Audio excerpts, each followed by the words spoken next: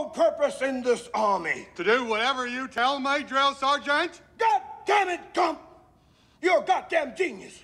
That's the most outstanding answer I've ever heard. You must have a goddamn IQ of 160. You are goddamn gifted, Private Gump. Listen up, people. Now, for some reason, I fit in the army like one of them round pegs. It's not really hard. You just make your bed real neat, remember to stand up straight, and always answer every question with, yes, drill sergeant.